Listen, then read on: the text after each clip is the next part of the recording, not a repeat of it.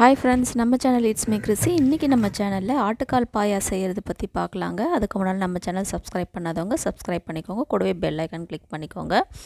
இந்த ஆட்டுக்கால் வந்து எனக்கு நல்லா தீச்சு நான் வாங்கிட்டு வந்திருக்கேன். வாங்கிட்டு வந்து அதெல்லாம் நல்லா மேலே இருக்க அந்த கருப்பெல்லாம் சுரண்டிட்டேன் கத்தியில். சுரண்டி இதை மாதிரி வச்சுருக்கேன். இப்போ வந்து இதை நல்லா தண்ணியில் அலசிக்கணுங்க.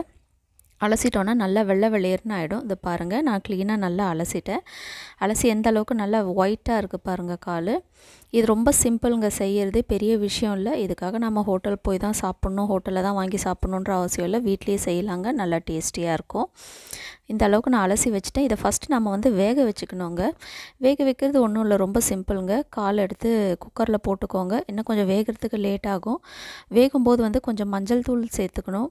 அதுக்கப்புறமா ஒரு ஹாஃப் டீஸ்பூன் அளவு இஞ்சி பூண்டு சேர்த்துக்கோங்க. கூடவே வந்து இதில் நம்ம குழம்புக்கு போட வேண்டிய அந்த பாதி அளவு மிளகாய்த்தூளை இதில் சேர்த்துக்கோங்க. நான் இதில் வந்து ரெண்டு டீஸ்பூன் அளவு மிளகாய்த்தூள் சேர்த்துருக்குறேன். கூடவே வந்து கொஞ்சம் மஞ்சள் தூளும் சேர்த்துருக்கேன். அதுக்கப்புறம் உப்பு உப்பும் வந்து பாதி அளவு இதில் சேர்த்துக்கிட்டால் போதும். சேர்த்து இது எல்லாத்தையும் நல்லா கலந்து வெயிட் போட்டுருங்க. குக்கரை மூடி வெயிட் போட்டுடுங்க. அது நல்லா வேகணும். அதுக்குள்ளே நம்ம போய் தேங்காய் எல்லாமே அரைச்சிக்கலாம். தேங்காய் அரைக்கிறதுக்கு வந்து ஹாஃப் டீஸ்பூன் அளவுக்கு நான் சோம்பு போட்டிருக்கேன். அதுக்கப்புறம் ஒரு ஹாஃப் டீஸ்பூன் அளவுக்கு கசகசா சேர்த்துக்கிறேன் இதில். கசகசா ரொம்ப நல்லது நம்மளுக்கு. அதனால் கசகசா முடிஞ்ச வரைக்கும் தேங்காய் அரைச்சி ஊற்றுறதுல தான் சேர்த்துக்கிட்டால் நல்லது. இது ஒன்றும் இல்லைங்க. ஒரு அஞ்சு முந்திரி பருப்பும் நாலு நம்பர் பாதாம் பருப்பும் ஊற வச்சு தோல் உரித்து சேர்த்துருக்கேன். இது நல்லா டேஸ்ட்டு கொடுக்கும். ஒரு கால் மூடி அளவுக்கு தேங்காவும் ஒரு ரெண்டு பச்சை மிளகா கொஞ்சம் அந்த காரத்தை எடுத்து கொடுக்குறதுக்காக சேர்த்துருக்குறேன். இப்போ பாருங்கள் ஆட்டுக்கால் நல்லா வெந்துருச்சு. நான் ஃபஸ்ட்டு ஏழு விசில் விட்டுட்டு பார்த்தேன். கொஞ்சம் கல் போல் இருந்தது. அடுத்து ஒரு ரெண்டு விசில் விட்டேன்.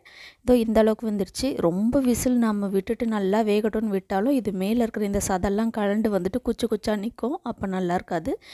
இந்த மாதிரி கரெக்டான பக்குவத்தில் வேக வச்சு எடுத்துக்கணும். தாளிக்கிறதுக்கு எண்ணெய் விட்டுருக்கேன். சோம்பு பட்டை லவங்கம் ஏலக்காய் பிரியாணி இலை இது எல்லாமே போட்டு லைட்டாக அதை வறுத்துக்கோங்க. ஒரு லைட் ப்ரௌன் வந்த உடனேயே ஒரு பெரிய வெங்காயம் போல் வெட்டி அதில் போட்டு தாளிச்சுக்கோங்க. வெங்காயம் வந்து பாதி அளவு வதங்கினா போதும். கொஞ்சம் இஞ்சி பூண்டு பேஸ்ட்டு அதில் ஹாஃப் டீஸ்பூன் போட்டும். இதில் ஒரு ஒன்றரை டீஸ்பூன் அளவு இஞ்சி பூண்டு பேஸ்ட்டு போட்டு இதையும் வதக்கிக்கோங்க. இஞ்சி பூண்டு பேஸ்ட்டு லைட்டாக ப்ரௌன் ஆனதும் தக்காளி போட்டு வதக்கிக்கணும். இப்போ அதில் உப்பு போட்டிருக்கோம் இல்லைங்களா? மீதி உப்பு இதில் பார்த்து போட்டுக்கோங்க. ஏன்னா அதிகமாகிடும் அதனால் அதுலேயும் போட்டிருக்கோன்றதுனால கேர்ஃபுல்லாக போடுங்க. தக்காளி வதங்கின வதங்கும் போதே வந்து கொஞ்சம் கொத்தமல்லி புதினா இது கூட சேர்த்து வதக்கிக்கணுங்க. அப்போ நல்லா உங்களுக்கு அந்த வாசனை ரொம்ப சூப்பராக இருக்கும். இதெல்லாம் வதங்கினதுமே வந்து தேவையான அளவு மிளகாய்த்தூள் அதில் வந்து ஆல்மோஸ்ட் ரெண்டு டீஸ்பூன் மிளகாய்த்தூள் நம்ம சேர்த்துருக்கோம். உங்கள் காரத்துக்கு தகுந்தாப்படி இதில் எவ்வளோ மிளகாய்த்தூள் நீங்கள் சேர்க்கணும்னு நினைக்கிறீங்களோ அந்த அளவுக்கு மிளகாய்த்தூள் சேர்த்து வதக்கிக்கோங்க. பச்சை வடை போகிற வரைக்கும் இதை நல்லா வதக்கிக்கோங்க. வதக்கி முடித்தோடனே நம்ம அரைச்சி வச்சுருக்க தேங்காய் இதில் போட்டு லைட்டாக ஒரு கலரு கலரி விட்டுட்டு நம்ம கால் வேக வச்சுருக்கோம் இல்லைங்களா? அதை எடுத்து இதில் ஊற்றிடலாங்க அவ்வளோதாங்க முடிஞ்சிடுச்சுங்க ரொம்ப சிம்பிள் ப்ராசஸ்ங்க ஆனால் இது வந்து இப்போ ரொம்ப திக்காக இருக்கும். ஆனால் இந்த அளவுக்கு திக்காக செஞ்சால் கால் குழம்பு நல்லா இருக்காது. இதில் வந்து கொஞ்சம் தண்ணி சேர்த்துக்கோங்க. நல்லா கொஞ்சம் தண்ணியாக இருந்தால் தான் நல்லாயிருக்கும் இது தோசைக்கு பூரிக்கு சப்பாத்தி எல்லாத்துக்குமே சாப்பிட்லாம். ரொம்ப சூப்பராக இருக்குங்க. இப்போ வந்து தண்ணி உப்பு எல்லாமே சரியாக இருக்கான்ட்டு பார்த்துக்கோங்க ஒரு ஹாஃப் டீஸ்பூன் அளவு கரம் மசாலா சேர்த்து நல்லா கொதிக்க விட வேண்டியதாங்க கொதித்த உடனே இறக்கி வச்சுட்டு ஒரு பத்து நிமிஷம் குழம்பு ஊற வச்சுட்டு அப்புறம் சாப்பிடுங்க. சூப்பராக இருக்கும்.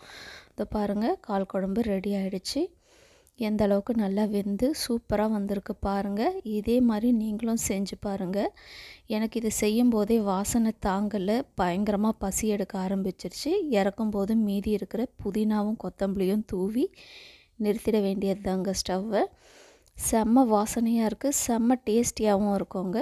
இது பாருங்கள் எங்கள் பசங்களுக்கெல்லாம் கூட இந்த மாதிரி செஞ்சு கொடுத்தா ரொம்ப பிடிக்கும். நீங்களும் உங்கள் வீட்டில் செஞ்சு பாருங்கள் நல்லா டேஸ்டியாக இருக்கும். கால் எல்லாமே அந்த சதை எதுவுமே வந்து பிச்சுக்காமல் நல்லா முழுசாக இருக்கும். குழம்பு ஒரு பத்து நிமிஷம் ஆற விட்டுட்டு நான் உடனே சாப்பிட இறங்கிட்டேன். எனக்கு பயங்கரமாக பசி எடுக்க ஆரம்பிச்சிருச்சு.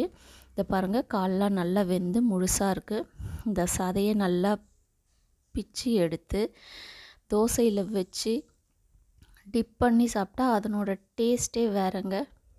பாருங்கள் நான் பிச்சு எடுத்திருக்கேன். உங்களுக்காக நான் சாப்பிட்டே காட்டுறேன். நல்லா டிப் பண்ணி இதை வச்சு சாப்பிட்டு பார்த்தேங்க நான். எந்த அளவுக்கு டேஸ்ட் இருக்குன்னு தெரியணும் இல்லைங்களா? அதனால் நான் இதை சாப்பிட்டே உங்களுக்கு காட்டினேன். செம்ம டேஸ்ட்டுங்க டேஸ்ட்டு வேறு லெவலில் இருந்தது. நீங்களும் செய்யுங்க. இந்த வீடியோ பிடிச்சிருந்தால் லைக் பண்ணுங்கள் ஷேர் பண்ணுங்கள் கூடவே எங்கள் சேனலில் சப்ஸ்கிரைப் பண்ணுங்கள் தேங்க்யூ வியூவர்ஸ்